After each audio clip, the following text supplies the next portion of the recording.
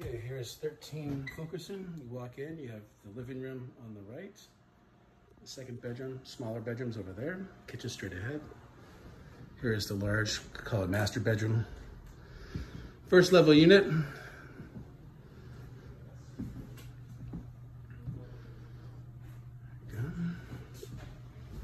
Nice, nice high ceilings. Again, high ceilings. Smaller bedroom.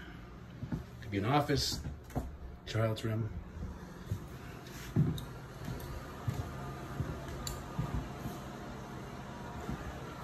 Large eat-in kitchen. Bathroom off to the side.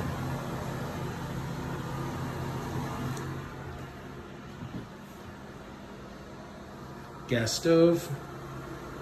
No dishwasher. No disposal. There's also an outdoor space, plus, you know, do a couple chairs out, maybe a grill. Out back. That's it. Walk through.